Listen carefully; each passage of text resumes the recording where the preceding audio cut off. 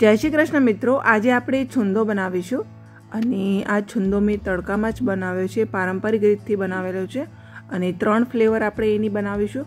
ખૂબ જ સ્વાદિષ્ટ બને છે, ત્રણે ત્રણ ફ્લેવર ખૂબ જ ટેસ્ટી બને છે, એટલે એક વખત ટ્રાય જરૂરથી કરજો. આ ત્રણેય ફ્લેવરના છુંદા, રોટલી, થેપલા, ભાખરી બધા સાથે ખૂબ જ સરસ લાગતા હોય છે. તો મિત્રો ત્રણ છુંદાની રેસીપી માટે એક લાઇક જરૂરથી આપજો. જ્યારે તમે લાઇક આપો છો, ત્યારે અમારો પ્રોત્સાહન વધતો હોય છે અને આવી નવી નવી રેસિપીઝ અમે તમારી માટે લાવતા હોઈએ છીએ એટલે વિડીયોને એક લાઇક જરૂરથી આપજો અને વિડીયોને આખો જોયા પછી તમારા મિત્રો સાથે શેર કરજો. અને જો તમે હજુ સુધી અમારી ચેનલને સબસ્ક્રાઈબ ન કરી હોય, તો ચેનલને સબસ્ક્રાઈબ જરૂરથી કરજો. સબસ્ક્રાઈબ કરવા માટે નીચે આપેલું લાલ કલરનું સબસ્ક્રાઈબ બટન પ્રેસ કરો. બાજુમાં આપેલું બેલ પ્રેસ કરી ઓલ નોટિફિકેશન પ્રેસ કરો તો જ તમને અમારા બધા નવા વિડીયોઝના નોટિફિકેશન મળતા રહેશે. સૌપ્રથમ મિત્રો મેં અહીંયા એક કિલો રાજાપુરી કેરી લીધી છે અને એને ધોઈને સરસ મેં સાફ કરી લીધી છે. હવે આપણે એને છોલી દઈએ. મિત્રો, છુંદો બનાવવા માટે જનરલી રાજાપુરી કેરીનો જ ઉપયોગ થતો હોય છે ને એનો છુંદો ખૂબ જ સરસ બને છે અને હવે આપણે એને છીણવાની છે. તો મીડિયમ સાઇઝની છીણીથી આપણે એને છીણીશું. મોટી સાઇઝ કે નાની સાઇઝનો ઉપયોગ નથી કરવાનો. આ જે મીડિયમ સાઇઝની છીણી છે, એનાથી જ હું એને કદ્દુકસ કરી લઈશ. મિત્રો, કેરીને આ રીતે ઊભી જ છીણવાની છે, જેથી કરી એનું જે છીણ છે, એ લાંબુ નીકળે અને સરસ નીકળે. તો આપણે આ જ રીતે એને છીણવાની છે.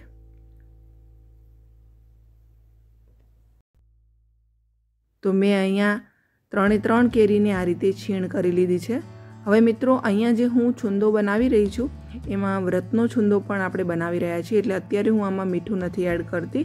અને એક મોટા તપેલામાં આપણે આ છીણને માપ કરીને લઈશું.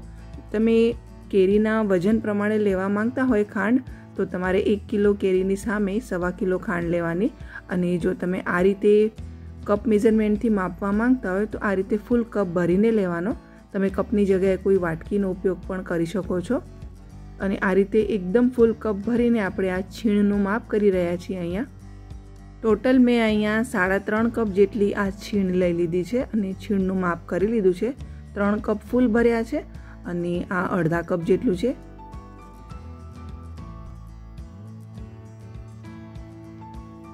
હવે મિત્રો, આના માપ પ્રમાણે આમાં ખાંડ ઉમેરીશું. એક કપની સામે આપણે સવા કપ ખાંડ લેવાની છે. અહીંયા સાડા ત્રણ કપ મેં છીણ લીધી છે કેરીની. તો તેની સામે આપણે સાડા ચાર કપ ખાંડ ઉમેરીશું. હવે જનરલી મિત્રો ઘણા લોકો છુંદામાં મીઠું એડ કરીને પછી કેરીમાંથી પાણી જુદું કરે છે અને છુંદામાંથી પાણી બધું કાઢી નાખતા હોય છે. અને અત્યારે હું તમને જો નીચોવીને બતાવું છું, આમાંથી પણ પાણી નીકળે છે. પણ આપણે કેરીનું પાણી બિલકુલ નથી કાઢવાનું. એનાથી છુંદામાં રસ બનતી હોય છે અને છુંદો વધારે સ્વાદિષ્ટ બનતો હોય છે. જો તમે આ પાણીને કાઢી નાખો તો એની ખટાશ ઓછી થઈ જાય અને છુંદો સ્વાદિષ્ટ નથી બનતો. એક વખત આ રીતે ટ્રાય જરૂરથી કરજો. હવે આપણે આમાં સાડા ચાર કપ ખાંડ ઉમેરીએ. હું અત્યારે આ છુંદો વ્રત માટે પણ બનાવી રહી છું. આપણા ગુજરાતમાં ગૌરી વ્રત બધી છોકરીઓ રાખતી હોય છે. એટલે અત્યારે હું આમાં મીઠું નથી એડ કરી રહી. અને ખાંડ એડ કરીને આપણે એને સારી રીતે ચલાવીને મિક્સ કરી લઈશું. ખાંડ અહીંયા ઝીણી લેવાની છે, જેથી કરીને ખૂબ જ ઝડપથી એ ઓગળી જાય અને છુંદો ફટાફટ તૈયાર થાય.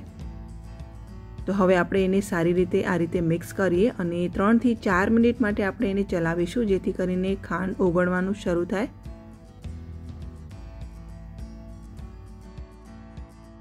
તમે જોઈ શકો છો મિત્રો, જેમ જેમ હું એને ચલાવતી જઉં છું, તેમ તેમ ખાંડ જે છે એ ઓગળવાની શરૂઆત થઈ ગઈ છે અને એ મિક્સ થઈ રહ્યું છે.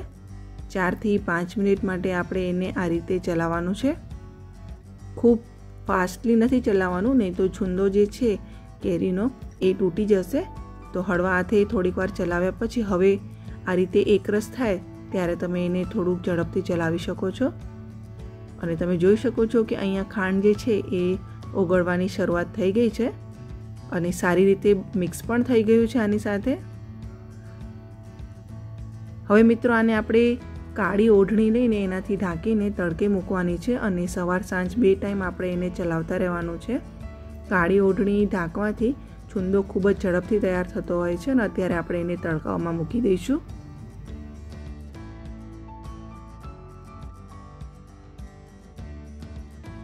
હવે મિત્રો, અહીંયા પહેલા દિવસની સાંજ છે અને અત્યારે હું તમને આને ખોલીને બતાવું છું કે આ છુંદો કેવો બન્યો છે. તમે જોઈ શકો છો કે આમાં રસ સરસ રીતે તૈયાર થઈ રહી છે. બધી ખાંડ જે છે એ ઓગળવા લાગી છે. અત્યારે છુંદો ગરમ છે એટલે આપણે એને બેથી ત્રણ મિનિટ માટે ચલાવીશું. સારી રીતે એને મિક્સ કરી લેવાનું છે. આ છુંદાને ત્રણ દિવસ માટે તડકામાં મૂકવું ખૂબ જ જરૂરી છે. અત્યારે ખૂબ ગરમી છે, ખૂબ તડકો છે એટલે ત્રણ દિવસમાં તૈયાર થશે. ત્રણથી ચાર દિવસ લાગતા હોય છે અને જો તડકો ઓછો હોય તો તે સમયે છથી સાત દિવસનો સમય પણ લાગી જતો હોય છે. ફરીથી આપણે એને ઢાંકીને મૂકી દઈશું. હજી આપણે એને બેથી અઢી દિવસ માટે મૂકવાનું છે. ટોટલ મેં આ છુંદાને સાડા ત્રણ દિવસ માટે તડકામાં મૂક્યો હતો અને આપણો છુંદો જે છે એ સરસ તૈયાર થઈ ગયો છે. અહીંયા કેરીની જે છીણ છે એ સરસ ચડી ગઈ છે, એકદમ સોફ્ટ થઈ ગઈ છે. હવે આમાંથી મારે ત્રણ ફ્લેવરના છુંદા બનાવવાના છે, એટલે એક સરખા ત્રણ ભાગમાં મેં ત્રણ વાટકામાં છુંદો કાઢી લીધો છે આ રીતે. મિત્રો, જે ફર્સ્ટ ફ્લેવરનો છુંદો આપણે બનાવવાનો છે, તેના માટે આપણે ચાર લવિંગ લઈશું. અડધી ચમચી કાળા મરી ઉમેરીશું અને બે નાના ટુકડા આપણે તજના ઉમેરીશું. આ ત્રણેય વસ્તુને આપણે કૂટી લેવાની છે અને અહીંયા આપણે બિલકુલ ફાઇન પાવડર નથી બનાવવાનો. એને આ રીતે જ કૂટવાનું છે, કકરું જ કૂટવાનું છે અને ત્યારબાદ આપણે તેમાં એક તમાલપત્ર ઉમેરીને ફરીથી એને કૂટી લઈશું. હવે આ મસાલાને આપણે એક વાટકામાં ઉમેરીએ. ત્યારબાદ એમાં આપણે અડધી ચમચી હળદર ઉમેરીશું. એક ચમચી આપણે એમાં સ્વાદ મુજબ મીઠું ઉમેરીશું અને એક ચમચી આપણે તીખું લાલ મરચું ઉમેરીશું.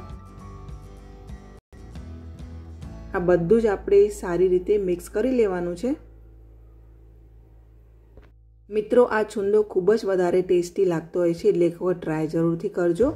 હવે સેકન્ડ ફ્લેવર જે બનાવી રહી છું, તેમાં એક ચમચી મીઠું ઉમેરીશું. એક ચમચી આપણે તીખું લાલ મરચું ઉમેરીશું. અને બે ચમચી અહીંયા હું કાશ્મીરી લાલ મરચાંનો પાવડર ઉમેરું છું.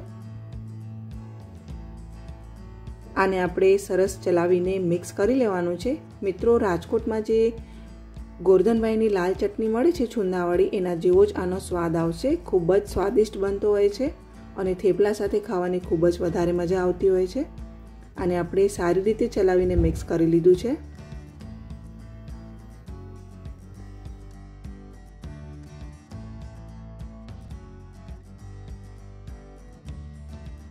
મિત્રો, આ બંને છુંદા જે છે એ સ્પાઇસી ફ્લેવરના બન્યા.